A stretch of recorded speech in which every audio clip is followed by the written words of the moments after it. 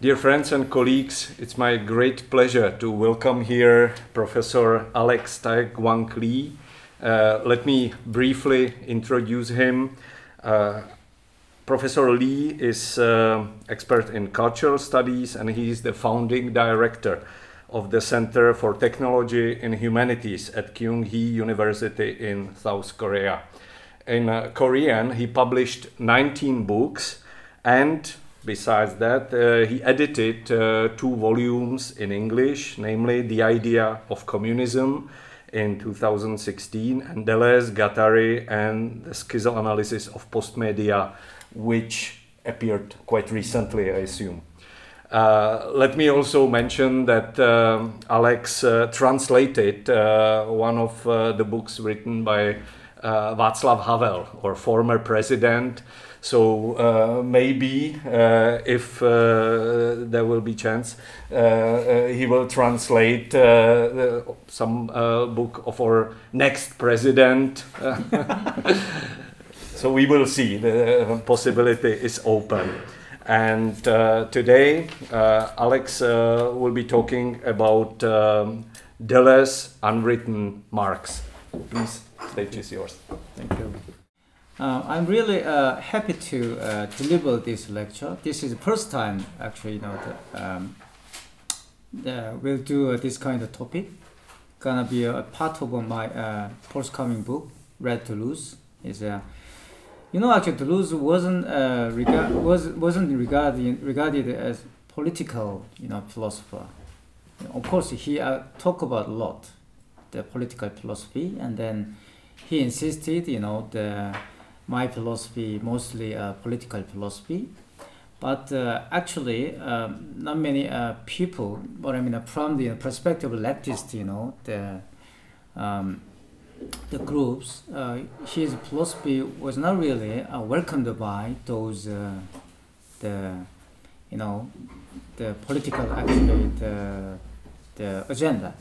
So, uh, but uh, I wanna actually give you know the, another perspective to this sort of common you know agreement um, about Deleuze you know the political philosophy, and then uh, so I actually wanna say the whole actually work uh, uh, the Deleuze you know, did uh, through his life uh, was about Marx. And then uh, his hidden ri rival or some friend will be Louis Althusser.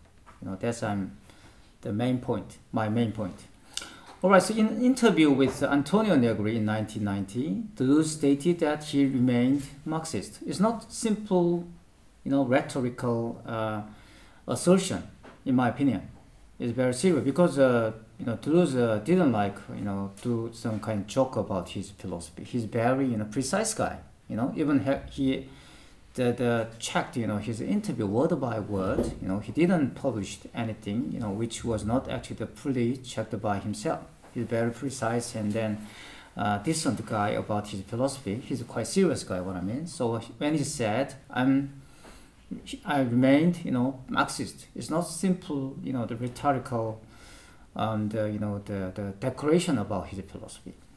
This uh, provocative declaration places uh, Deleuze in a unique position, distinguished from most French contemporaries such as Michel Foucault and new philosophers. Because Michel Foucault and new philosopher Glucksmann and uh, many actually, you know, the uh, uh, post uh, 68 you know the philosopher uh, the you know the you know the support the demarxification okay they actually you know abandoned the marxism and then they criticize you know leftist you know politics you know even Michel Foucault actually very you know the clarified his own you know the very actually you know, the demarxified you know tendency after the 1968 when Deleuze completed the interview with the Antonio Negri, the genesis of Marxism has ended. That means actually the, the red years of uh, France, you know, ended in those days. And it's a privileged position in Europe. That means a Marxist you know, position in Europe was no longer maintained. The political disillusionment of the anti-capitalist uh, theory, demarxification, is Fred Jameson term, culminated with the collapse of Berlin Wall. Deleuze did not alter his attitude in another interview with uh, Didier Eribon in 1993. It's after the end of you know the Soviet bloc, he had another actual interview. He didn't change his you know the, the declaration in this interview. In the autobiographical dialogue, he explained why he felt thoroughly Marxist today and confessed endorsement of his long-held plan to write his last book entitled Grandeur of Marx, The Greatness of Marx. A legendary book title. You know, actually recently uh, released, you know, on uh, internet, uh, some blogger, you know, in America actually, you know, the, discussed this thing. Uh, the Antonio Negri actually uh, uh, clarified actually. He uh, saw uh, in the text about Marx actually he uh, mentioned you know this text so uh, uh there were uh, very uh, interesting discussion whether you know the the Deleuze, you know, the book about uh, Marx really exists or not. Just like uh, you know Borges' novel, the Aristotle's, you know, the theory of comedy really exists or not. Just a very interesting, uh, you know, discussion went on on internet for a while. So the philosopher confirmed that his philosophical project uh, about Marx was uh, inextricable from Marxism when the fall of Soviet communism was evident. This is uh, enigmatic, you know, actually the, the truth. Why Deleuze, you know, that he actually insists, I remain Marxist, you know, when the Marxism ended, you know, officially. Deleuze's emphasis on linking his philosophy to Marxism is not an anachronic regret or apology for his political stance because he was not actually regarded as a militant, you know, during uh, actually the, the, upheaval of that kind of uh, uh, French communism, right? Uh, he, w- he didn't, uh, you know, the get into French Communist Party, never been, you know, party members. And he didn't embark that kind of Maoism at all because he actually, he belonged to Sorbonne, right? According to uh, you know French history, the mostly uh, Ends is École de Normale is occupied actually by the Maoists, while Sorbonne was occupied by Trotskyites. Trotskyism was very you know dominant in Sorbonne. So actually Deleuze actually studied in Sorbonne. Okay, he didn't like Sorbonne, but anyway, just he uh, belonged to them. That's why I say you can understand the Deleuze himself, you know, the distantiates, you know, distances himself from uh, Dekai Maoism.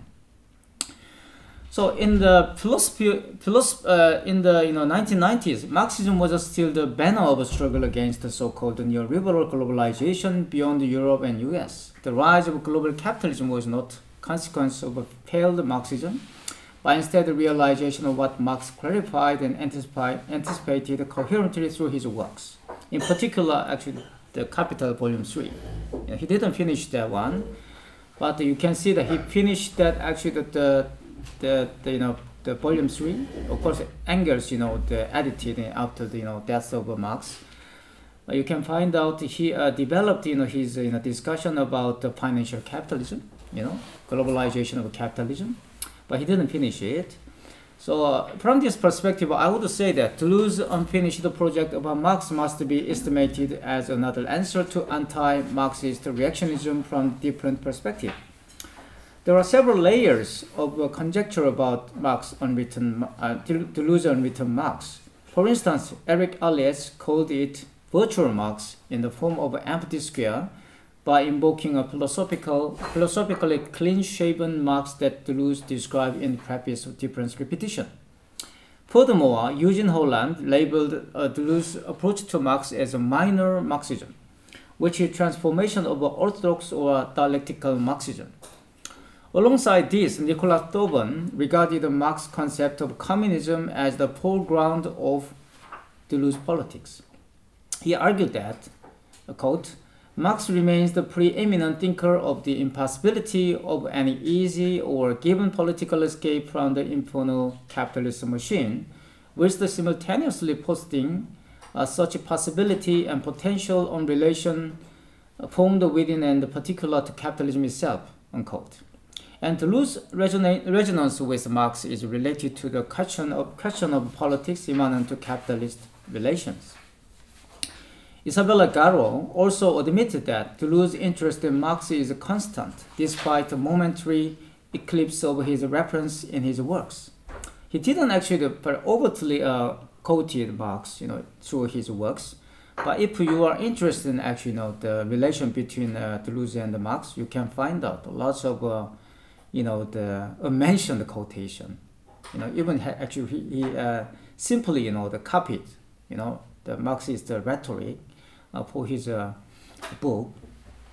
So, um, uh, okay, just as uh, Jean-Jacques uh, Leclerc, uh, Lecercle pointed out, Marx provided Deleuze, quote, a framework for thought, unquote, even when Mark, Deleuze hardly mentioned his name. That means actually Deleuze uh, you know, did not really actually mention Marx, but uh, you know you could see uh, this sort of uh, analogical you know rhetoric in Deleuze's books. Put in whatever virtual or minor, Deleuze Marx does not end up with revisionism or post-Marxism. I think Balibar brought to the fore some important points that explain the link between Deleuze and Marxism. In an interview with uh, Charles Barthold, he actually indicated that quote, the combination of philosophical concepts of Deleuze with a central Marxist tradition, almost orthodox plays fundamental role in his work with Guattari, unquote. And so, what is happening with Deleuze, and which was already present in the previous generation, is the confrontation with the philosophical concept of Marx, Nietzsche, and Freud. Here, Balibar pointed out again Deleuze's contribution to the revival of Marxism by proposing, quote, a theory which provided huge space for the discussion and transformation Marx after 1980s. Unquote. In this manner, Deleuze emphasizes that, quote, in the history of philosophy, a commentary should act as a veritable double and bear the maximal modification appropriate to a double, unquote. Therefore, philosophically, clean-shaven Marx, or philosophically Beard Marx uh, Beard Hegel is not a copy of Marx or Hegel, but their repetition. The account of any philosopher is reproduction of philosophy.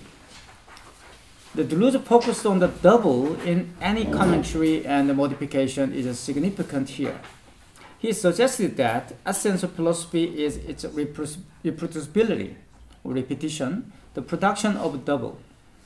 How is the philosophical duplicate possible then?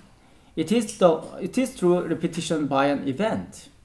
If he writes about Marx, it means that he will repeat condition of Marx critique by that event, communism. In different repetition, Deleuze already argued that, quote, Marx theory of historical repetition, as it appears notably in the, uh, the, the 18th Brumaire of Louis Bonaparte, turns on the following principle which does not seem to have been sufficiently understood by historians. Historical repetition is neither a matter of analogy nor a concept produced by reflection of historians, but above all, condition of historical action itself. Unquote. History must uh, repeat. Otherwise, you know, history is simple, you know, actually the image of the past, you know. I'm gonna explain why uh, the Deleuze argue like this. This argument, you know, Deleuze argument, that history does not belong to historian's interpretation reminds us of the debate between Ricoeur and Althusser in 1955 about historical objectivity. In the exchange, Althusser criticized Ricoeur, who privileged the role of historian, hermeneutic subjectivism in understanding history. That is what Ricoeur argued. Historians' decision would you know, change history. And drawing on this viewpoint of anti-subjectivism, more interestingly, Deleuze reads Marx's statement about twice occurrence of significant events. The first as tragedy, the second as a farce. That's what you know Marx said. The quoting uh, Hegel. Deleuze's emphasis on historical repetition clarifies his position concerning the problem of objectivity. It is well known that Marx's account of a double-layered historicity is commentary on Hegel's remark remark on the historical repetition or what has happened as a ratification. Endorsing Henri Bergson to appropriate Marx's theatrical trope uh, rather than Hegel, Deleuze uh, regards history as dramatization. But according to his interpretation of Marx, comic repetition is a replacement of a tragic metamorphosis and the production of something new.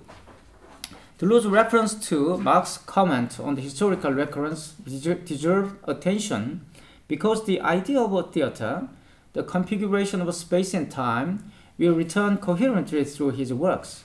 Following Bergson, who compares dramatic art with the world and the consciousness, Deleuze grasped dramatization as the figure of spatial temporal dynamisms. So this actual theme uh, would uh, repeat in his actual book collaborated with Guattari, Ritornello, you know. It will come back, you know, quite a, a different shape. In the public presentation to discuss the theme of his dissertation in 1967, which will be published as Difference and Repetition in 1969, Deleuze argued that uh, through dramatization, the idea is incarnated or actualized, it differentiates itself, unquote. However, his point was not ab- about how the idea is separated from its actualization, but about how it already contains characteristics that correspond with the two, two aspects of its differentiation. Deleuze emphasized that, quote, the idea is fully differential in itself, people even differenti- differentiating itself in the actual, unquote. Um, this is actually the point is uh, idea. You know, the actually the Deleuze concept idea. Uh, actually, we must uh, pay attention. You know, actually this concept properly, and then uh, I wanna actually you know develop uh, my understanding of this concept. Um, for Deleuze, the idea as differentiation in itself cannot be represented in any scientific terms, even if science as such comes in its actualization. This is very important Deleuze, Deleuzean philosophy about science or some technology, and then its political actualization. There is a fundamental gap between uh, scientific cognition and its actualization. So in this sense, a technology became a sort of uh, actually the means of uh, practice in Deleuzean political philosophy. So this is also the main kind of distinction between Althusser and Deleuze. All right.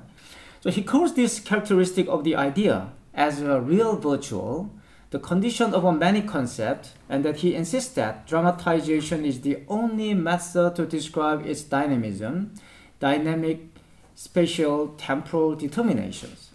The dynamism of the virtual cannot be reduced to the psychological sense of determination, but quote, the pre-qualitative and pre-extensive taking place in intensive systems where differences are distributed at different depths, whose patients are larval subject and whose function is to actualize ideas, end quote. What actually the Deleuze tried to say by this kind of argument is that, you know, the repetition is not instrumental. It's not functional. It's not actually you know the mathematical, you know, but rather qualitative.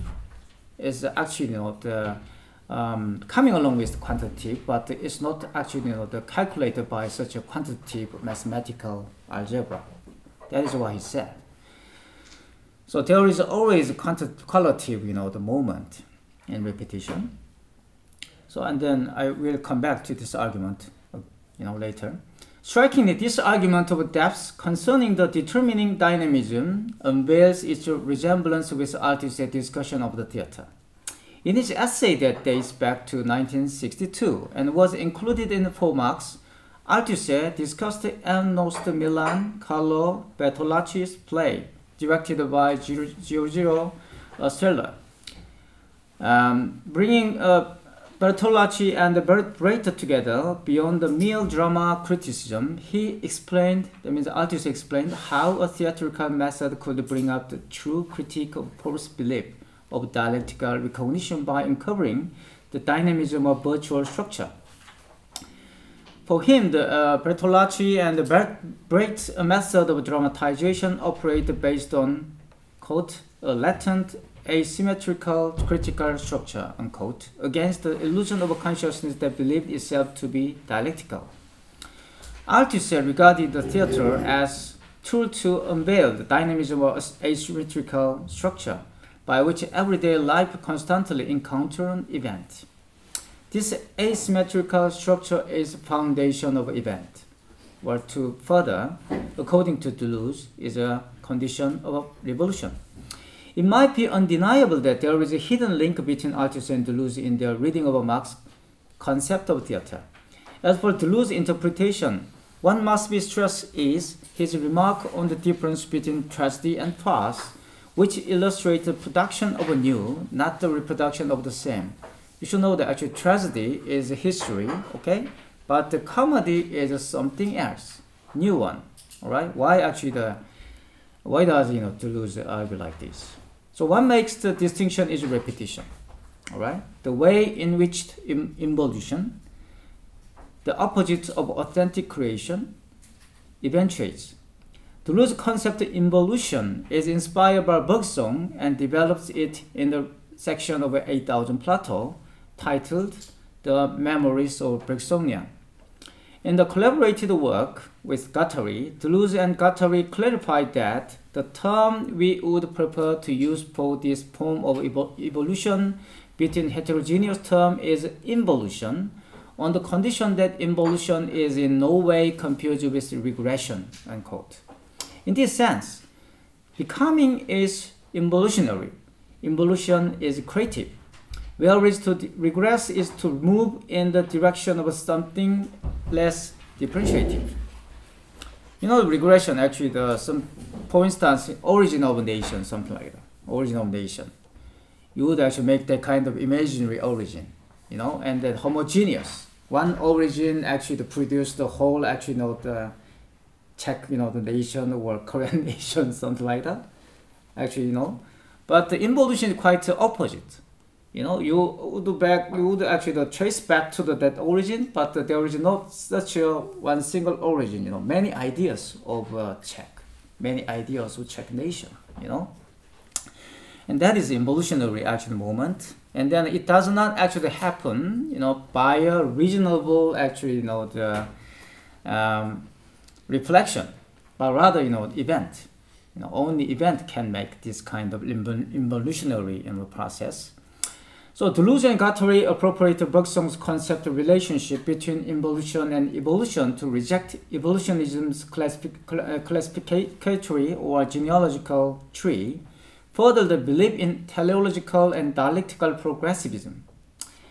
Their concept of becoming as involution is, in this sense, a rhizomatic state of life. You will be actually familiar with this concept, which cannot be reduced to the teleological and the mechanistic understanding of life. Deleuze applied this concept to reading Marx's theatrical description of historical repetition. In this way, the involutionary repetition shapes the comic travesty which replaces tragic metamorphosis. Deleuze, Deleuze raises uh, an in, interesting point about third moment of dramatization, something new beyond the comic and tragic, which even eliminates a hero. And you would actually, uh, uh, you know, uh, remind yourself of this uh, joke, is a Zizek's joke, you know, you know, the Stalin said, the Bosa words. This is kind of the impasse of dialectic. And Deleuze already actually know, think about how can uh, how we can actually get out of that kind of an impasse of dialectic. And then uh, he actually say like this, the concept of a third, which dominates his discussion of structuralism, and further, the third world appears again here. However, the third stage of repetition is veiled then when the first two dramatic repetitions gain their abstract independence. That means actually the, the tragedy and then past, you know, is a kind of vicious circle. You know, some sometimes to some point in your imaginary, our past is, uh, you know, tragic, and then uh, today actually you can see that, you know, so-called the democracy.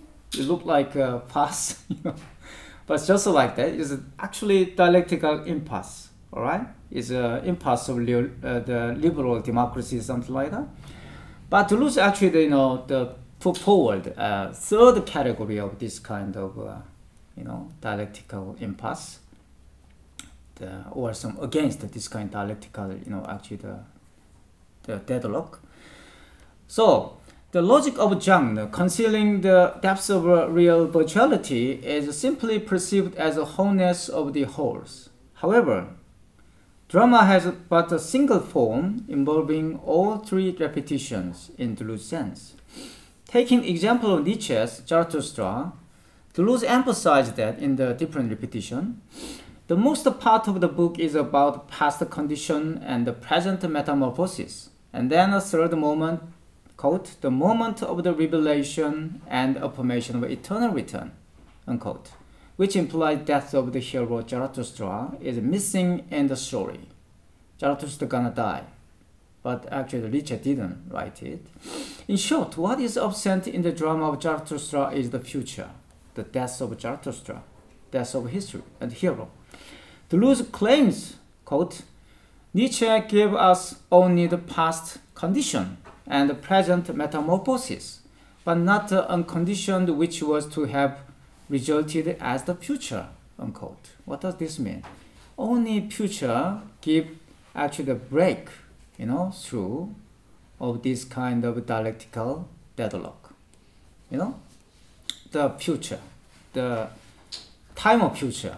Future is belong to the actual time, and then uh, future would be uh, the third category of this kind of you know the um, event. All right. So uh, you know actually Nietzsche's works are the preface for his book in the future, not the records of his past thought. This is what actually you know the Deleuze argue. This is very fantastic. You know the fantastic uh, insight. You know. Uh, this approach to Nietzsche is based on Deleuze's concept of repetition. So repetition is not you know simple reiteration of this kind of uh, two category, dialectical category, or some uh, not you know reiteration of a contradiction, but rather some sort of bring up, a bringing of this future, you know, and then uh, think about that. You know, what is the present? According to Deleuze, you know, present is simply reiteration of the past. As far as we actually stay in this kind of past, the, you know, this present is the reiteration of a past. If you want to change this actually the present, what sh- we should do? Definitely, we should bring up future. Why is that? There is a break. You know, it's not actually subjective. You know, the decision, but you know, event will come up. And then, uh, of course, yes, Deleuze, you know, purpose definitely proved how that you know, future can intervene, you know, what we experience as the present. This is actually, my, in my, in my opinion, actually the very uh, political uh, sense of you know, Deleuze you know, uh, philosophy. According to Deleuze, there are three repetitions which cannot be reconcilable. reconcilable an uh, intra-cyclical repetition, whose first two repetition repeat one and the same thing, actual event yet to come, a cyclic repetition, which at the end of the third age and at the, at the end of the process of dissolution, everything recommences with the first age, and finally pure repetition and eternal return in the third state, which is precisely what is needed both to correct the intra-cyclical hypothesis and to contradict cyclical hypothesis. Furthermore, Deleuze points out that, quote, when Marx also criticized the abstract force movement or uh, mediation of the Hegelians, he finds himself drawn to an idea which he indicates rather than develops, an essentially theatrical idea to the extent that history is a theater, then repetition, along with the tragic and the comic within repetition, forms a condition of movement under which the actors or the heroes produce something effectively new in history. Unquote. So actually here, uh, Deleuze, you know, quite uh, emphasized the non-Hegelian aspect of Marx. Not Marxism is uh, Marx, you know, the critique of uh, Hegel. The theater of repetition resists the theater of representation in that the fundamental opposition between a movement and a concept drive rep representation to its eternal return to the concept. Deleuze takes in the concept of theater of repetition to reject Hegelian concept of mediation and clarifies that, quote, in the theater of repetition, we experience pure forces, dynamic lines in space which act without intermediary upon, upon the spirit, and link it directly with uh, nature and history, with a language which speaks people words, with gestures which develop people organize bodies, which masks people faces, which specters and phantoms people characters, the whole apparatus of repetition as a terrible power, unquote. If there are the spectral marks in Deleuze theater, they would be the primordial mode of marks, not the aftermath effect is character. What is actually, you know, primordial condition of Marx. Not surprisingly, Bergson is one of the crucial references for Deleuze' somewhat unorthodox readings of Marx. It is well known that Deleuze played a key role in the revival of the Bergson in the late 1950s and developed his concept of a virtual through Bergson's metaphysics of worldly intuition. Bergson's philosophical aim was to defend absolute knowledge of the world, time and oneness against uh, uh, rationalization. That means, uh, you know, rationalization, mathematic, uh, mathematical uh, rationalization, something like that, ratio something. In Time and the Free Will, Bergson suggests two possible conception of time. The one free from all alloy, the other, you know, uh, so repetitiously bringing, you know, bringing in the idea of space, unquote.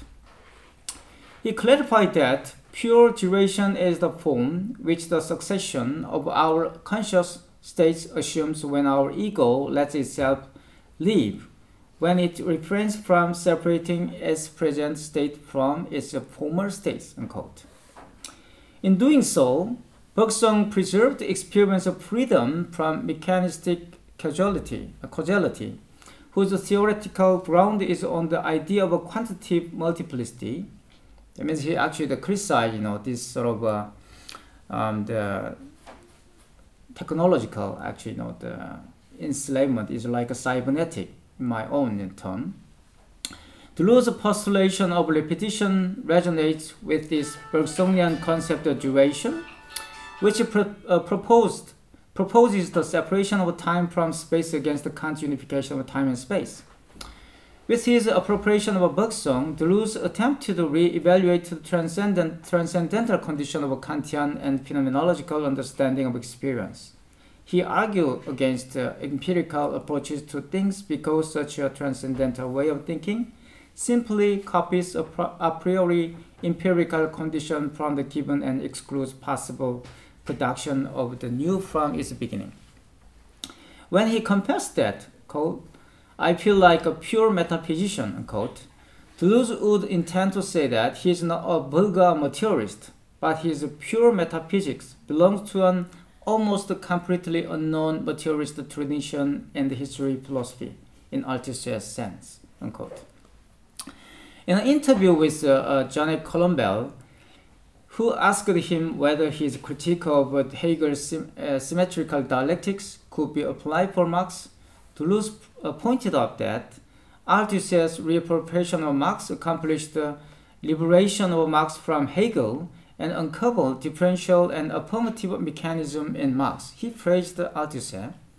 His statement proves that he attempts to discover a, a much more explosive system unsymmetrical holes in uh, this equilibrium under the dialectical opposition in Marxism.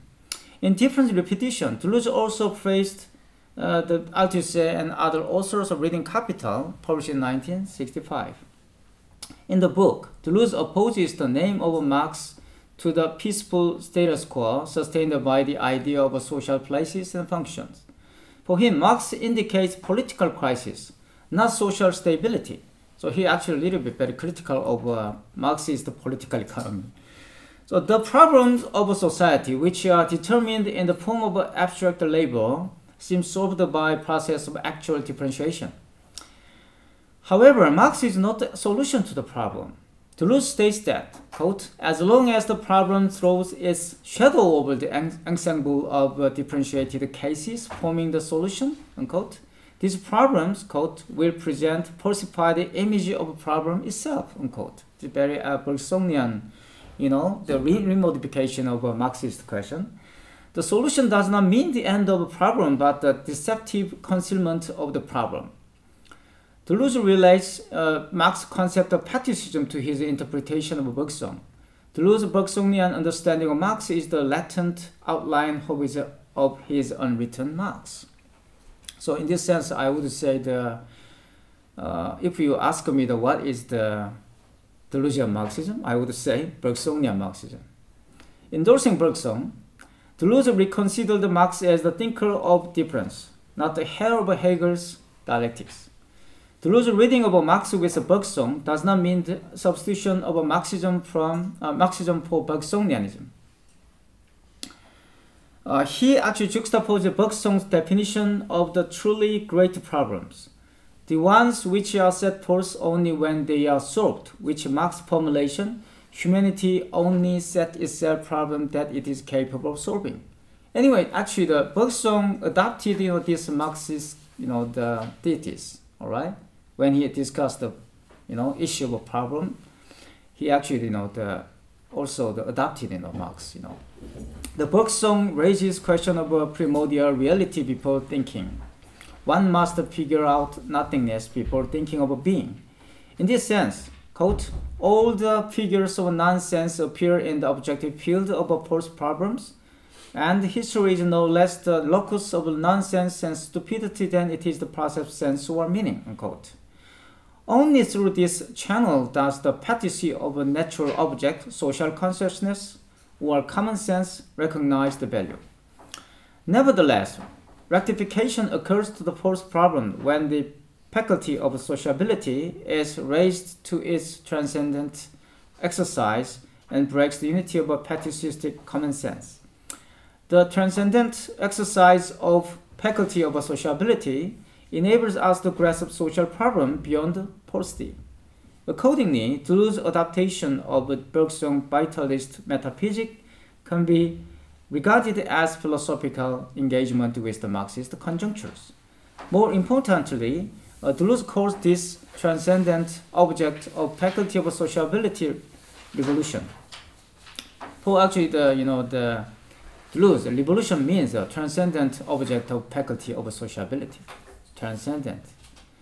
This revolutionary situation is a certain condition science can be united with philosophy. So for Deleuze, evolution means at the, at the moment you know, when the you know science can meet you know philosophy.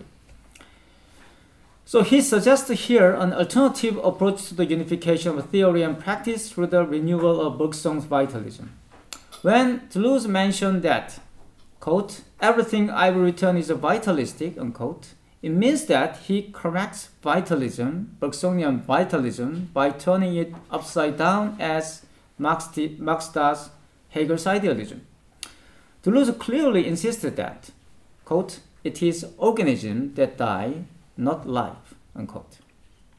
Deleuze defense of worldly metaphysics relies on the mathematical truth of a fundamental indeterminacy between representation and multiplicity. From the outset, Bergson's vitalism finds the, its ground in the philosophy of mathematics and discusses a theory of a numerical multiplicity in his explanation of Zeno's paradox. Bergson's solution to Zeno's question, quote, why does Achilles outstrip tortoise, is that because each of Achilles steps and each of the tortoise steps are indi in, in, in, indivisible insofar as they are movement and a different magnitude insofar as they are space, so that addition will soon give greater length for the space traversed by Achilles than is uh, obtained by adding together the space traversed by tortoise and then handicap which which it started unquote. In short, Bergson said qualitatively difference, qualitative, qualitative difference between tortoise step and Achilles step. That means actually Paul Bergson, that is a confusion, right?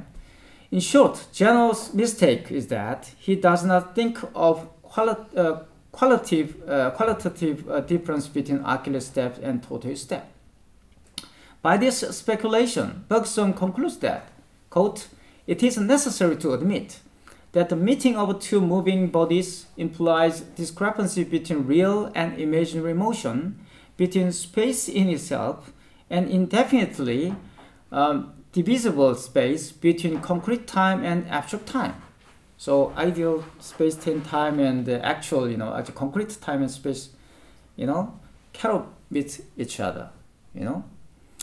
Um, for Deleuze, this fundamental difference, the infinite dis uh, divisibility of a concrete space, infinite divisibility of concrete, this is differential, all right, is a mathematically, you know. You know that Leibniz and the Newton, you know, Newtonian physics, actually we got, you know, that kind of a world, all right, it's a modern world, definitely based on this differential, you know, presupposition. The, we can calculate time according to what?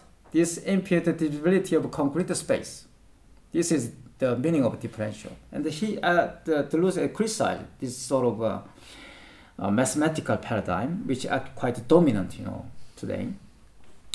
So um, the oneness is this is also very important and a very insightful one. So for Deleuze, this fundamental difference, the infinite divisibility of concrete space is the condition of revolution. This is actually Deleuzian theory of revolution. This modern world, or some, you know, actually the future also the study this one, is a modernity, modern enlightenment already, you know, already implicate this revolution within its own structure. That is what actually Deleuze said. If we live in this world, revolution is necessary. You know, all kind of a political regime, so-called liberal democracy and then political economy, all this kind of you know the system try to suppress this necessity of revolution. That's actually the Deleuzian political philosophy. So um, the oneness created by continuous, you know, actually nation state, for instance, you know, Thomas Hobbes try to put you know this idea of a commonwealth on the foundation of science. That is modernity. Foucault actually pointed out, you know, theory of governmentality. That as such is modernity. Is a core essence of modernity. So actually, this you know the actually the governmentality, how actually this government can uh, function. You know, Deleuze said is a oneness, imagination of simple oneness. But for Deleuze, this oneness is only intuitively imagined. You know, cannot be proved. Cannot be proved. So this is actually the Deleuzian critique of a nation state or nationalism, right? So the oneness created by the continuous cannot be represented or calculated, but only intuited. Only we can imagine it. You know, actually the this argument is quite opposite to Hobbes. Thomas Hobbes said, you know, science would give us the kind of, you know, the, the, uh, the calculation of or representation of oneness. That is a Hobbesian presupposition. Against this one, Deleuze said, we cannot calculate the oneness. You know, we cannot meet all Czech people in your country. And also, I cannot meet all Koreans in my country. You know, we actually experience only person, not actually the Czech, no actually the Korean. But we actually said, oh wait, there is some Czech, there is some Korean, there is some American. This one is only intuitively imagined. That's what actually you know point that actually try to make. So, um, all right. Okay, so. Um, that's going on.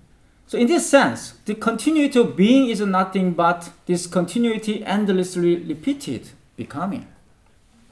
Revolution takes place by the, quote, the social power difference, the paradox of society, the particular wrath of the social idea, unquote. For Deleuze, revolution is affirmative, the way of difference, while fetishism is a negative, the objective field of a false problem. He does not think that critical philosophy could solve the problem lurking in the dialectic of enlightenment. This is actually his different position from Frankfurt School. Such a way of thinking already presupposes the distinction between subject and object and the reflection on the knowledge of things. That actually is, you know, the um, his actual position is quite different from critical theory because actually if you criticize something, you must uh, have this uh, dichotomy, subject and object. But Deleuze said, you know, the subject object cannot solve this problem. It's a sort of a reiteration of a vicious circle. But uh, actually, we must uh, presuppose some precondition or pretext for a subject and object. What is that? That is, according to him, uh, might be uh, called, you know, life. All right. So, um, you know, the critical manner rather, you know, sustains the separation of us from things and their entirety. Revolution is the war of decoding problems by restoring them to their truth, by evaluating that truth beyond representation of consciousness and the forms of the negative, and by acceding at least to the imperatives on which they depend. The idea as embodied multiplicity is the condition of a affirmative power of difference. Quote, an idea is n-dimensional continuous defined multiplicity, unquote. So our revolution is eternal revolution or permanent, you know, state of revolution. Dimensions are the condition of a phenomenon, and the continuity is the condition of a relation between changes. A definition is a condition of the mutually determined element which, uh, which the transformation of multiplicity will change. The idea is the consolidation of a virtuality, which cannot be reduced to the representation of consciousness born out of the actualization. Therefore, what must be reconsidered in Marx is not to establish the sense of Marxism, but the virtual of a Marxist polity, that is to say, the idea of communism in this sense, I wanna you know link Deleuze to uh, communism. Yeah, Deleuze is always talk about communism. You know, that is a pretext to Marxism. For Deleuze, the communist revolution must create a new social relation in which the dynamism of idea continuously encourages the differentiation of actualization. Actualization settles in three theories of space-time and consciousness. Space-time and consciousness. A spatial a temporal dynamism always goes along with the advent of an elementary consciousness. In this sense, class consciousness can be considered as a specific consciousness emerging through practical struggle. However, consciousness is a consciousness of something. Deleuze shaped this phenomenological presupposition to its foundation and sheds light on the repetition of consciousness. Quote, Everything is a consciousness because it possesses a double, even if it is far off and very foreign. Unquote. In this sense, class consciousness, consciousness is not a reflection of existing workers, but rather consciousness of the working class as such. In other words, the creation of the proletariat. I think you would actually you know, put some kind of comparison between Deleuze and Lukács here, right? The history and class consciousness. Lukács also had a very similar idea, you know, the class consciousness must be created, not really actually, you know, the working, the reflection of working class. So in the dialogue with Antonio Negri in 1990, Deleuze clarifies that communism is not the problem of communication, and quote, the key thing may be to create uh, backlogs of non-communication, that means a void of non-communication, is uh, Eric Alliez, you know, said is uh, like uh, the empty circle. The circuit breakers, so we can, uh, you know, the elude control, unquote. This is very important. Actually, the the communism means, you know, the the you know escape from control. Communism is an untimely idea. The duration of revolutionary moment, which belongs to the invention of the future, not the continuation of past and the present. Actually, you should actually remind here um, yourself of the actually what the Deleuze talk about, you know, the, the relationship between uh, tragedy and uh, farce, you know, in the different repetition. The temporality of an event, pure difference, will be actualized again and again in different experiments. Therefore, the parallel revolution is unavoidable in the actualization of real polity. So, revolution isn't necessary, but necessarily failed, because that is eternal, permanent revolution.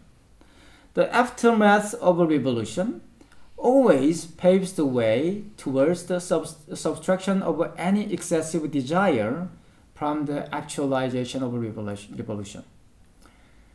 As Deleuze says, quote, the revolution failed. All revolutions fail. Everybody knows this. And now people are pretending to rediscover that, unquote. He criticized the new philosopher.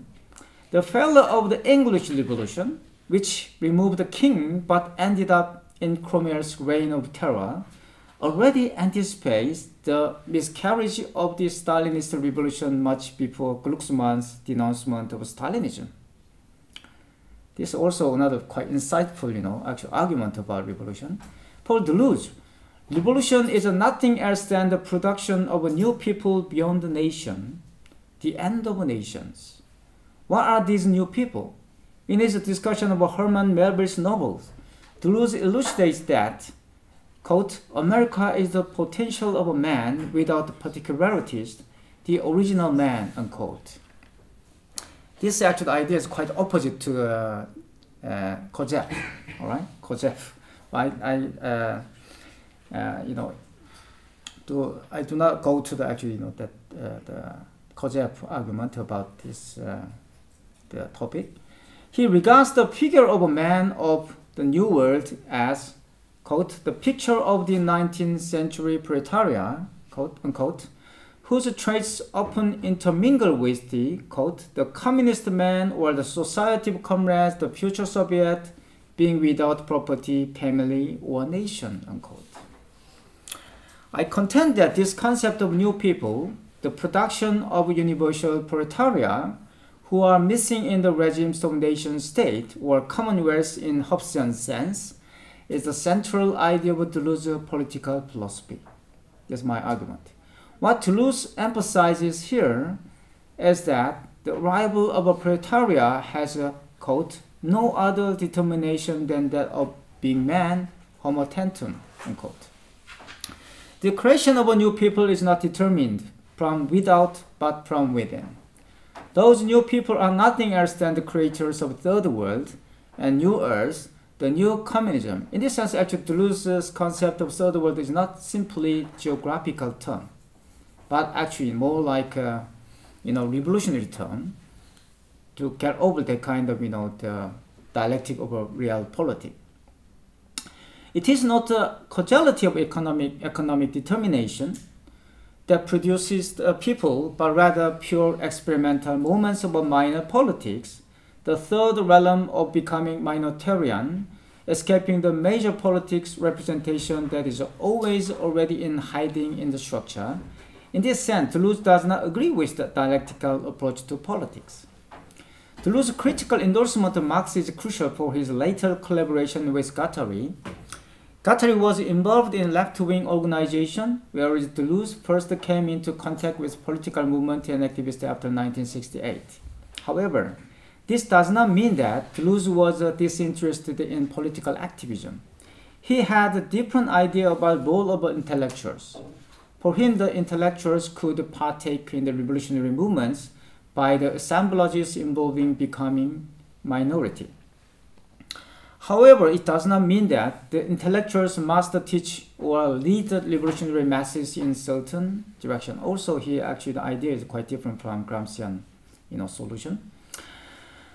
Um, in Intellectual and po Power, actually the, the interview, his interview with uh, Foucault, Deleuze further argued that, quote, a theorizing intellectual for us is no longer subject, a representing or representative consciousness, unquote. Deleuze did not regard intellectual as a crucial in the revolutionary movements. Deleuze attempted to save the performative aspect of revolution from its aftermath failure. Revolution is always becoming over history and then becoming revolutionary is more important than being on the left. The condition of being on the left in the loose sense are twofold. First is the planetary perception of a horizon based on the certain sense of its geographical address. Second is becoming minoritarian by nature, becoming aware of fact that the minority is everyone and the majority is no one. Deleuze minor politic regards becoming, which is continuously escape from the historical representation as a resistance against the gen- generality of the signification and substitution globally related to imperialism and colonialism. Through his philosophical intervention in official Marxism, Deleuze's question was always about how is it that people whose interests are not being served can strictly support existing power structure by demanding a piece of action, unquote. It's a Spinozian, you know, question, all right? Why actually, you know, do people struggle for their own subjugation, not for their freedom? According to him, the investment of desire molds and distributes power.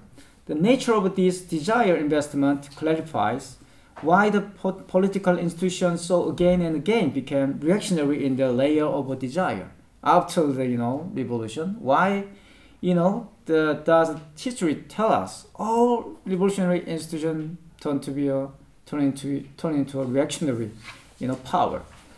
The problem of being on the left for Deleuze is gaining planetary thought and arranging process to become everyone. Deleuze's unreturned Marx is already returned, but has not yet arrived. His eternal return to Marx anticipates the book to come in the future. Thank you very much. Thank you very much, Alex, uh, for your fantastic lecture. It was uh, rich, uh, rigorous, yet thought-provoking. So I would like to open discussion right away. You can take the question.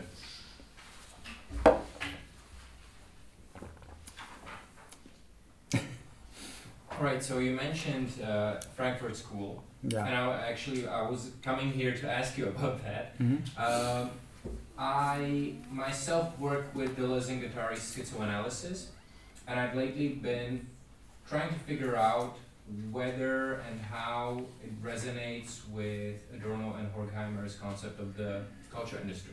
Mm. Um, do you personally see any compatibility between Deleuze and Guattari and Frankfurt School? Very good question. Yeah, as for that uh, culture industry, I think Deleuze, uh, you know, with Guattari shared even the same actually the idea. That means uh, when uh, Deleuze mentioned uh, actually you know, the, the society control, definitely in my opinion, actually that uh, you know im- imply the meaning of you know actually the critic uh, the cultural industry. In the in you know dialectic of enlightenment, you can see that the chapter which I discussed the cultural industry. Um, Adorno didn't actually you know the, mention the cybernetic, but definitely it's about cybernetic. You know, actually, Norbert Wiener uh, thought you know the cybernetic as kind of media, you know, communication, uh, communicative uh, tool, instrument, and then uh, actually the Adorno's uh, point that in technological, you know, actually the you know the communication is not not really actually no, not merely a sort of a tool, but uh, you know the existential enslavement, something like that. Is that is cultural industry? You know, actually the enslave your desire, and then uh, actually, in my opinion, the, when the Deleuze, you know, the uh, said actually that the, I'm uh, you know still remain the Marxist. Then uh, quite in my opinion, he uh, rediscovered you know Adorno's point of uh, cultural industry. But I, you should know that actually the I heard this uh, story from uh, Jacques Rancière. You know, Jacques Rancière didn't know, uh, you know, the some people uh, like uh, School exist. You know, until the you know 1967. He didn't know you know, who who was who is actually Adorno, because actually he's a teacher. You know, after the you know Second World War in France. Uh, didn't allow you know the their student to read you know Frankfurt School because uh, for them uh, because they are a little bit you know, orthodox in the Marxist and then the the Frankfurt School was regarded kind of heretic Marxist. You know? so when the Rancière you know traveled to Brazil, he saw that the whole actual translation of Adorno in you know the São Paulo. He found out. Oh my gosh, who is this guy? You know, actually, he checked out. He found, you know, that there, there is uh, some kind of uh, the people called the Frankfurt School. But he found a very similarity you know, between uh, actually the Frankfurt School and then the French Marxism. So I think uh, Deleuze also quite similar. He didn't, you know, the come across, you know, the Frankfurt School seriously, but uh, anyway, uh, you know, actually he but anyway, just the fundamental uh, philosophical foundation is quite different from you know the Adorno because Adorno is a little bit more like Hegelian, but uh, quite you know intend intend. Uh, how can I just you know the, he intend to uh, get you know the actually out of the kind of Hegelian paradigm. That's why. But you can find many similarity later, Deleuze and then Adorno. Hi, Alex. Nick, Yeah. thanks, for, thanks for your talk. Good to see you here. Good to see you too in person. Um, thank you. I have maybe two quick questions. Mhm. Um, I'm sorry I missed the introduction, but I see that this is part of a Yeah, bigger book. Um, uh, my, my first question is uh, I, uh, Deleuze remains Marxist, Mm-hmm.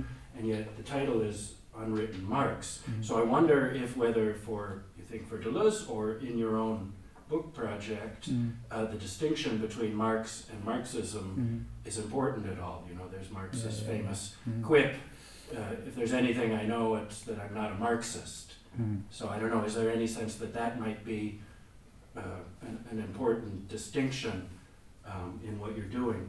And my second question, also because I see this as part of a bigger project, you don't mention capitalism and schizophrenia. And I, I recall there's, there's a pretty direct um, uh, discussion of the theory of value and, yeah, yeah. and, and capitalism and the argument Negri will take up, right? That, that Marx's theory of value is now being Mm. um, surpassed or transformed or something like that. So I wonder if uh, elsewhere in your thinking, in this, I guess, in this book project, Mm. um, what, what is your take on the critique of, of capitalism in, in, in, in that book Mm. in Anti-Oedipus? Yeah, actually, very good question as well. So actually, uh, my uh, answer to first question.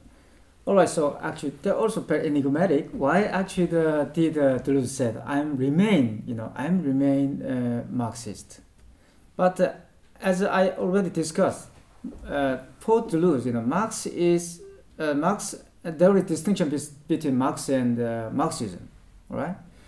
And then, uh, in my opinion, actually, you know, the he wasn't actually involved you know, Marxist movement after Second World War. Uh, you know, he uh, he uh, distantiated himself from uh, such a the militant, you know, people. And then, uh, uh, in my opinion, actually, the, he didn't actually think, you know, the the French uh, Marx, the French uh, Communist Party would, uh, you know, give some sort of uh, uh, how can I say this, you know, the, uh, the revolutionary solution to, you know, what's happened in the after you know Second World War in terms of the capitalism. What I mean, but, uh, that means he anticipate he would anticipate you know the actual failure of a Communist Party. That's why he didn't involve you know that you know one. Another one is his health problem. He got the lung disease and he couldn't actually get involved in that kind of military movement. And then the, another you know, second reason, I think he didn't, uh, you know, the, the, the participate in that kind of activity. But in my opinion, you know, uh, Deleuze, you know, the wanna talk about uh, primordial, you know, idea of Marx, not the Marxism. So as I already discussed it, in those days, in the you know after Second World War, the France political Marxist political economy was dominant. So-called humanism, humanist Marxism, and even you know actually the Althusser was criticized by uh, you know the key members of uh, French Communist Party. So I think Deleuze uh, knew this one, and then my presupposition is that I also discussed in my uh, whole in the manuscript. Um, Deleuze, you know, relationship to uh, Althusser was more, uh, you know, important than we we know at the moment he had uh, desperately actually you know the appeal to you know the the Althusser because he wanted to publish his uh, essay about structuralism in Humanité. What is Humanité? Humanité is a French, you know, the Communist Party's uh, the journal is an official journal about human, humanities. So uh, he wanted to actually publish his journal, you know, um, the you know the edited by uh, Althusser. That is uh, my uh, you know evidence to support this actual supposition. So his relationship to Althusser was very close, and then uh, also very important. He developed when he developed his early idea, difference repetition, and then the, the logic of sense, very important. In my opinion, the logic of sense is very important work. In my opinion, is one of the uh, most important work if you understand uh, Deleuze. This actually is the core text, in my opinion. He actually developed, in, in you know, logical sense, he actually already mentioned the necessity of revolution. Why actually revolution is necessary, you know? There is about a book about the revolution. So that's why actually he wanted to, uh, you know, the, develop this idea about Marxism already but he found some kind of impasse in Althusserianism. So when he got in some interview, uh, and then he actually uh, confessed, the Guattari saved me. But a lot of people have said, you know, Guattari ruined Deleuze. I don't think so. It's, uh, Deleuze himself said, Guattari saved me. What does that mean? In my opinion, is in my uh, interpretation, uh, Guattari saved Deleuze from Althusserian impasse. Because Althusser and Balibar never, you know, left, you know, French Communist Party. When they discussed, you know, the, the, the proletarian dictatorship, of course, you can see that, you know, they never left. They still remained the Leninist. But actually, the, you know, the Guattari is uh, against, you know, Leninism. He actually went to the, you know, Trotskyism, you know, first. And then he, they tried to actually, you know, the, reorganize the concept of democratic centralism. That is actually the you know, core of the Leninism, that the democratic centralism. Okay, so all right, it is actually the in this way the Deleuze tried to uh, you know the get already uh, he didn't actually the, involve this uh, Marxist movement. That means he not interested in Marxism. You know the aftermath of Marx. He's not interested in that. But what he tried to say, according to his own philosophy, what's already a fully discussed in the different repetition and the logical sense, he were interested in the pretext of uh, Marx, Marx. Why actually did Marx, you know, uh, write, you know, the Capital? And then, of course, that was the Communist Manifesto. So that's what I'm saying. So, and then uh, what is that? Is a German ideology. So it, that is actually the, also the Althusser's track. Althusser actually went back to you know German ideology. He said actually the communism is important, you know, rather than you know the political economy something like. That.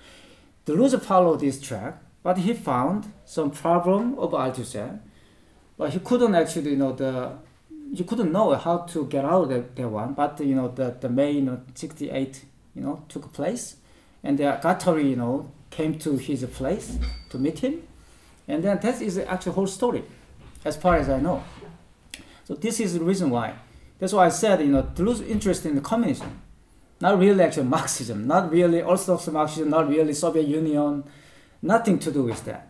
He's interested in what actually, what kind of actually, you know, the idea, you know, uh, brought up to this Marx. That's what he's interested. He's not, he's not, he's not interested in writing uh, autobiography about Marx, something like that. He, what is interesting, the, what actually brought up the Karl Marx, the subjectivity. That is what I said.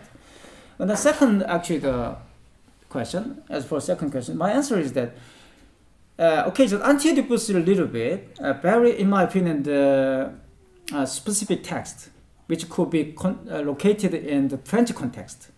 Why? Also, is uh, in my opinion, is critique of Althusser. Why? It's about, you know, it looked like uh, actually they criticize psychoanalysis, but it's not really actually, you know, they intend, you know, it's not really actually that they intend to criticize psychoanalysis, but what? They criticize Freudo-Marxism. They try to uh, criticize the uh, link between the psychoanalysis and the militantism. There's a Guattarian idea. Guattari got that kind of question. You know, after the 19 you know, 68. You know that actually the Althusser sent, you know, Alain Miller, his student, the most, uh, uh, the, the clever, you know, student to uh, Lacan, all right?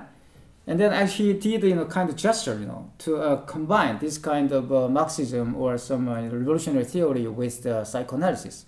But actually the anti-Oedipus aims at criticizing, attacking you know, this uh, attempt to uh, bring together, you know, the militantism and then psychoanalysis, you know. And then uh, that's why just I'm my interest in more on the you know the Thousand Plateau. Thousand Plateau. What is this strange book? In my opinion, this book is about the reconstruction of a revolutionary theory, Leninism. In my opinion, you know, it's like uh, you know actually Zizek's book about Lenin. It's a revolution at the gate, just like that. So um, they try to actually reformulate the democratic centralism in the book. It's Thousand Plateau. That's uh, my, my answer. So he okay, just he uh, they actually try to. It look like you know the analysis of analysis of capitalism, but it's not really actually the analysis.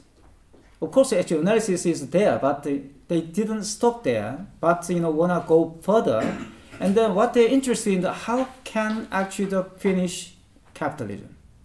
That is their question. How can we finish capitalism? Of course, actually, what they you know have in the book is definitely you must uh, you know change the uh, the reassembled your rearranging your desire. How could you do that? That is exactly the answer. They try to uh, give the answer to this problem. And then, of course, in history, we have uh, that experience of democratic centrism, okay? But, um, you know, actually, the, that's why actually they try to uh, start their actual argument from there, the democratic centrism. And then uh, they also raise some question about democracy. And then, uh, you know, freedom and the many actually, you know, concept there, and of course, value there, you know, definitely. But uh, and then uh, actually they in my opinion they bring together all you know the different theory you know in one uh, the text but uh, you know quite a very rhizomatic you know disposition and then they actually the what they wanted to do there is definitely in my opinion you know how to how to actually finish capitalism you know? And then uh, of course one of their answer is the capitalism already got that sort of moment schizophrenia you know? So we must uh, finish and you know that uh, sort of uh, oneness or some kind of representation or whatever called you know? This actually the um, the greed you know? You can change it all right? And then uh, but you know not many people imagine it is possible but they want to actually say it.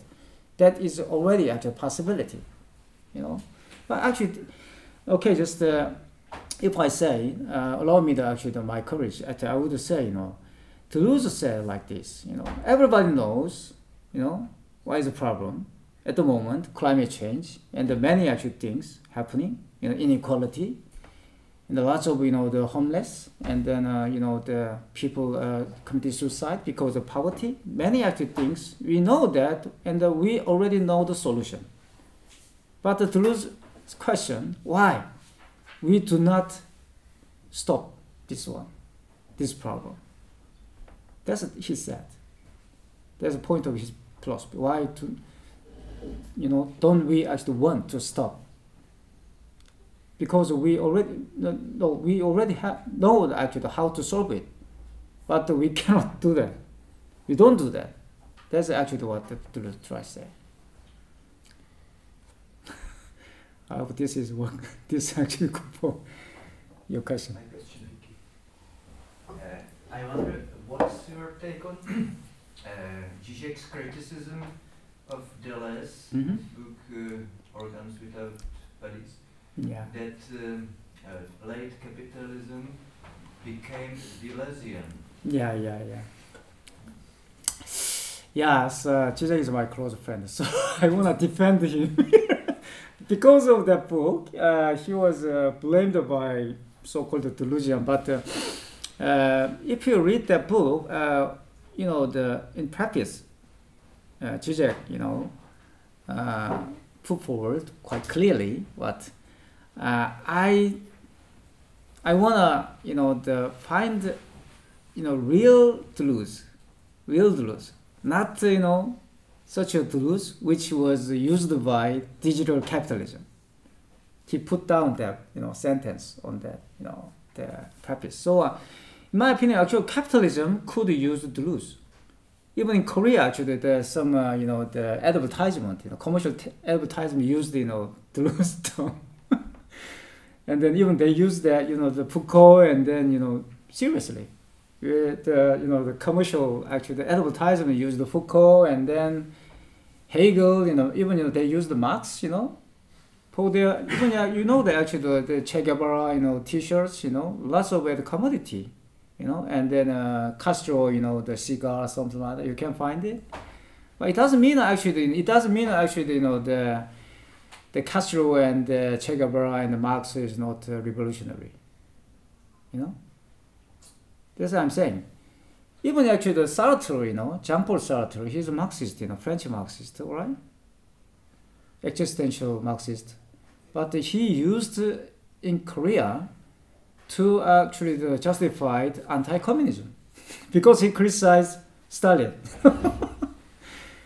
but uh, nobody would say that actually, you know, the Sartre is uh, reactionary because of this. They can use it, but uh, not really actually, you know, uh, it doesn't mean actually that uh, philosophy is uh, useless or not revolutionary. So something like that. So I think, in my opinion, Zizek's critique of you know that Deleuze is not really actually the Deleuzian philosophy, but you know the, actually the use of Deleuze.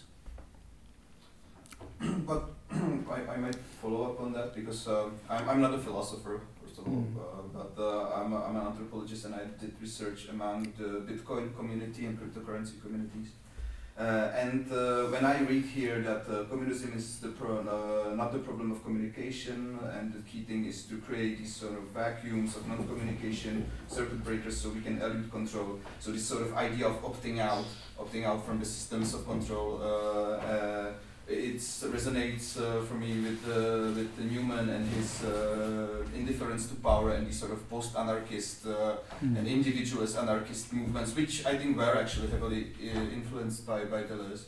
Uh, it, it sort of begs the question, since this is sort of the core of, of his idea of, uh, of communism or of sort of new, of the future, uh, how, how it uh, because this is this is also the core of the of the current capitalism of informational capitalism of the capitalism that uh, eludes control of capital that sort of uh, breaks free from uh, from all these uh, circuit breakers you know it, it sort of it sort of goes either into these offshore spaces or even sort of returns back to the body. So so within within the crypto uh, anarchist uh, community this sort of Mm. idea of uh, hiding capital inside of the body Mm. itself is quite uh, common so so how can we you know so this is not just that they would use Deleuze because they don't know Deleuze but they they came to very similar conclusions as he did but used them uh, and Mm. and they are conclusions of capital breaking free so so Mm. can we Very important uh, question.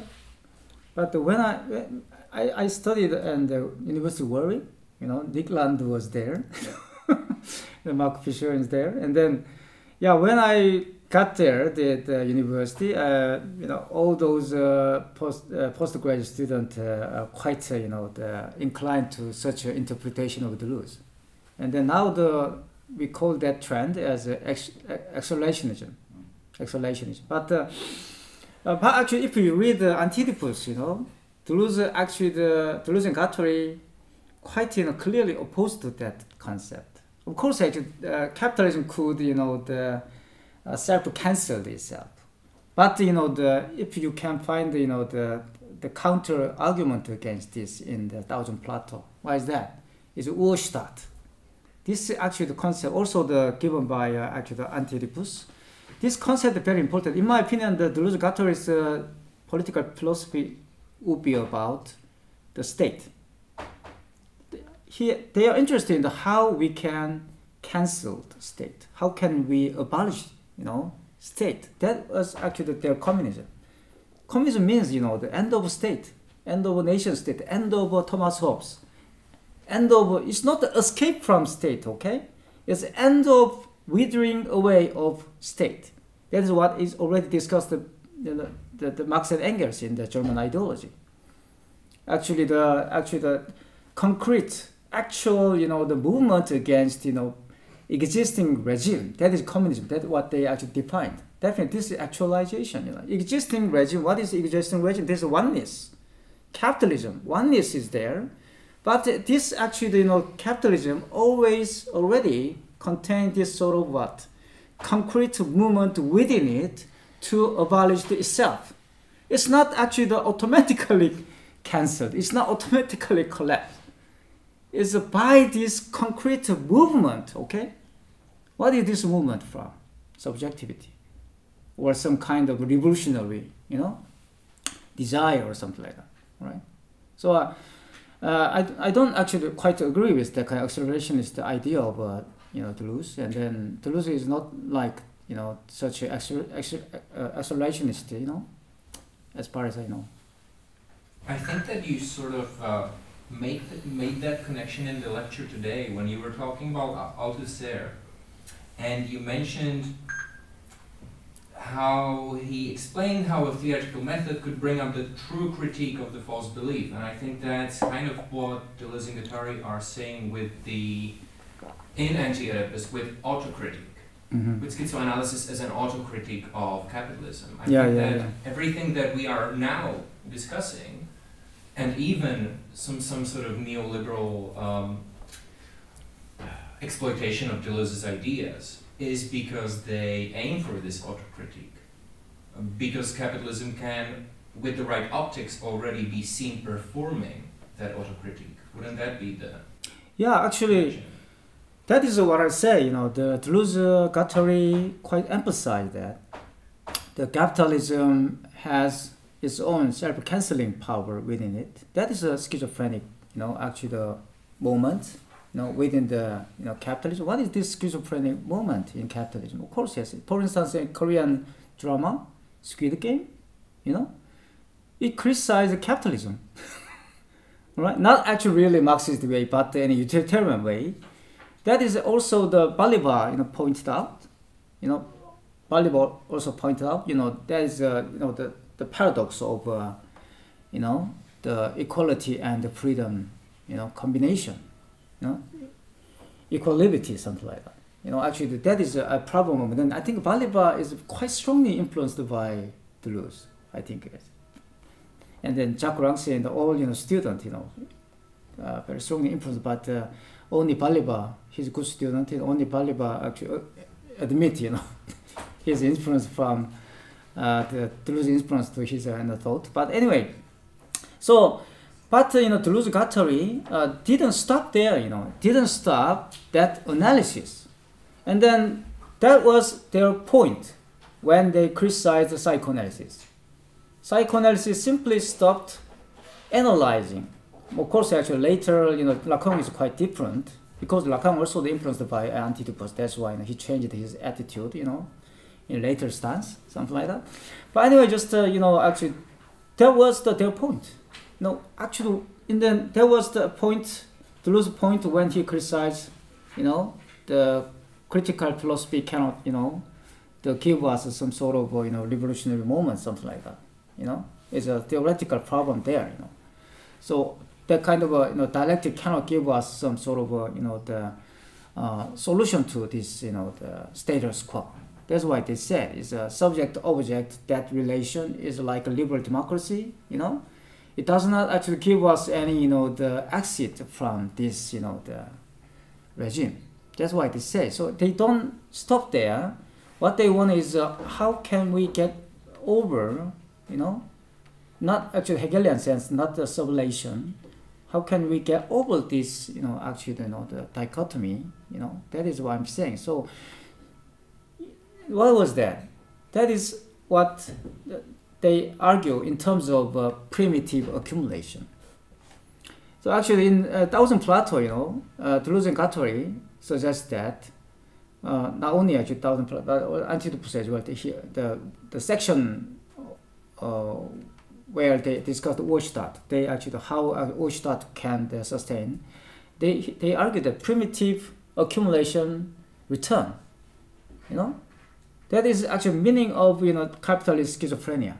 capitalist actually schizophrenia. Now at the moment austerity and then you know actually you can see the inflation. Many actually you know, the actually the, the economists you know said you know actually the capitalism now in crisis, but this crisis means according to Deleuze Guattari, return of primitive accumulation. All this primitive accumulation return. And this is actually meaning of capitalist schizophrenia. But uh, what they want is we must stop this one. We must stop. And then uh, creating a what?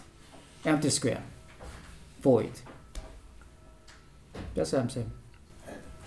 Yeah, just a quick follow-up question. How would this uh, fit also together with, uh, for example, feminist uh, Marxism, which Mm. claims that primitive accumulation actually never stopped?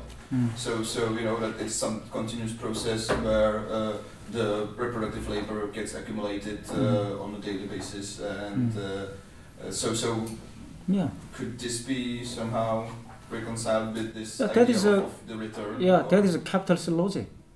For instance, you know, at the moment, actually, the uh, we have uh, actually the new age of technology, artificial intelligence. I don't, I don't think this is a new term, you know, new actual paradigm. In my opinion, it's a kind of return of a 1940s cybernetic theory. Came, came back. The same, it's, it's the same feedback, and then you know the the input and the feedback and the correction and this is actually quite a you know, typical you know theory of cybernetic it came back in different name artificial intelligence more like a humanistic you know sense you know.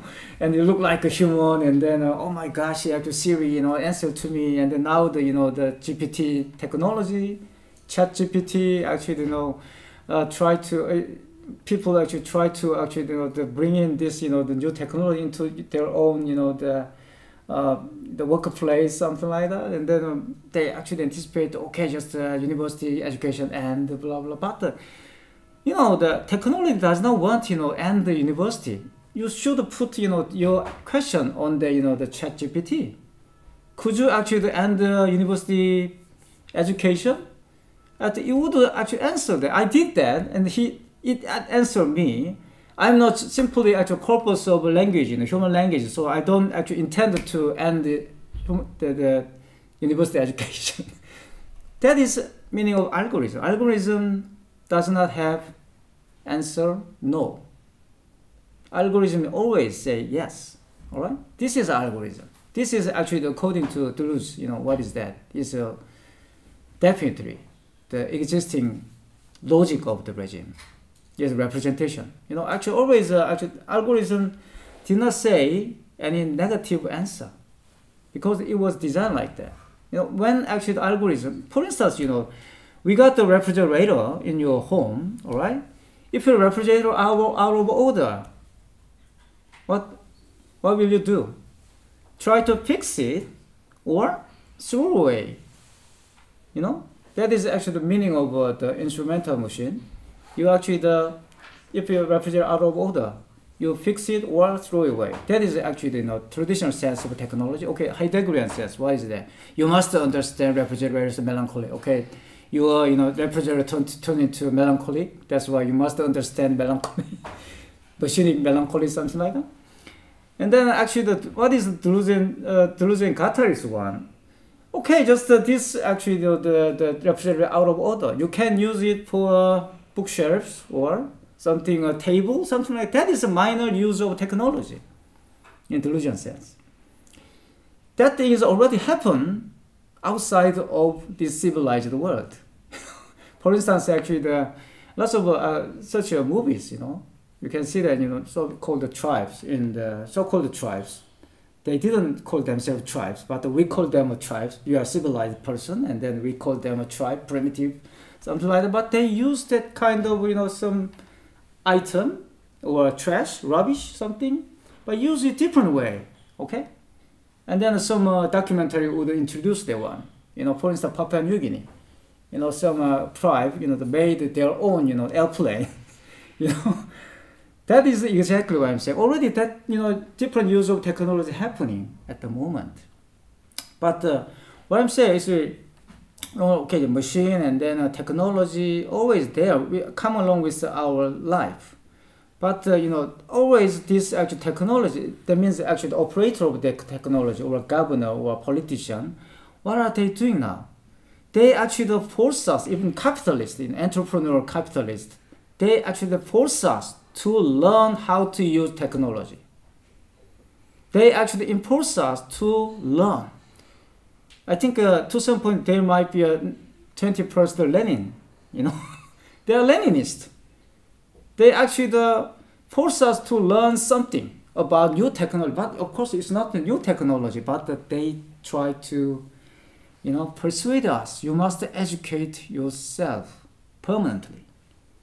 I think this is a problem at the moment. You know, this is a sort of a technique of enslavement. And then uh, that's what I'm saying. Actually, of course, it's, we need actually another way to reconstruct the Enlightenment, right? And then, uh, you know, actually, the Foucault and then Deleuze also similar. Knowledge is effect of this actualization. Not knowledge as such is actualization, but uh, many people still are, you know, confused with this one. The, I think the Deleuze is Deleuze is quite simple. Actualization produce this knowledge, not you know the trapped by knowledge of evolution. That's what I'm saying. You know. So now at the moment we are enslaved by technology, but it's not problem of technology in my opinion. It's a problem of this capitalist, you know, actually the regime. So it doesn't mean actually rejecting science. It doesn't mean rejecting enlightenment. It doesn't mean you know reject to use not like uh, Heidegger. We must actually get over you know this Heideggerian dilemma. Heidegger actually went to the you know the other way. I don't agree with Heidegger. You know. Heidegger's actually solution is wrong. You can see that Nazi and Hitler, you know, it's not accident. It's, it's, it wasn't accident. You know, he actually supported Hitler, in my opinion if you actually reject this kind of uh, enlightenment paradigm, you don't have any choice except that passism. Yeah.